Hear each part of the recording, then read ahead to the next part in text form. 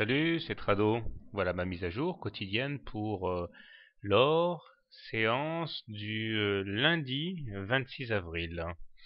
Magnifique séance que celle d'aujourd'hui, puisque les cours, après être venus prendre appui sur le niveau de retracement des 38,2% et de la moyenne mobile à 20 euh, séances, eh bien, se sont retrouvés propulsés vers le haut et nous terminons sur un plus haut de 1156 euros à peu près, ce qui est une très euh, bonne performance compte tenu du fait que les indicateurs techniques n'étaient pas optimistes.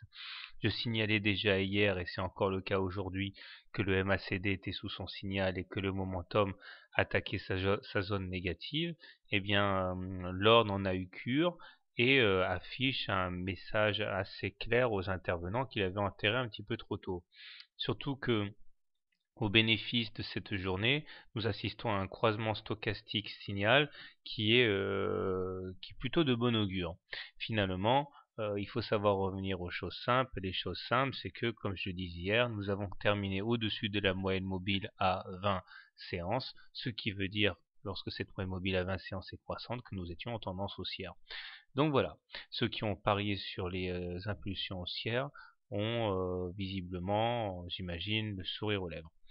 Alors, euh, il demeure que nous avons toujours des résistances graphiques bien réelles, celles-ci, puisque nous sommes toujours à l'intérieur d'une fourchette d'Andrews rose qui n'a toujours pas été cassée, puisque nous évoluons à l'intérieur, et aucune issue favorable n'est envisageable tant qu'on n'aura pas cassé par le haut cette fourchette d'Andrews. À cela s'ajoute le fait que nous avons une, résistance à 1162 qui bientôt arrivera et dont il faudra se départir.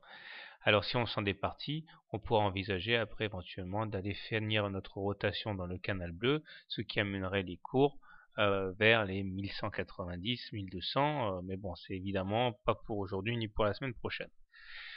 Bien, alors comment trader euh, l'or lundi?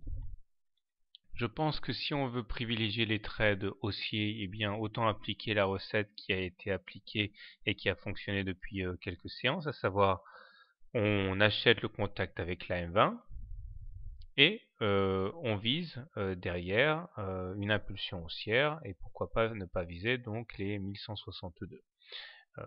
maintenant, si on envisage plutôt de shorter l'or, je pense que c'est un petit peu ce que je disais déjà avant-hier. Euh, il, me semble dangereux de shorter quoi que ce soit avant qu'on ait euh, été percuté euh, la résistance à 1162. Effectivement, c'est sur ces niveaux que des forces vendeuses devraient commencer à se déclencher. Donc, si vous êtes baissier, je pense quand même qu'il vaudrait mieux attendre d'aller percuter ces niveaux. Voilà, je vous souhaite une bonne soirée, de bons trades et à demain pour l'hebdo.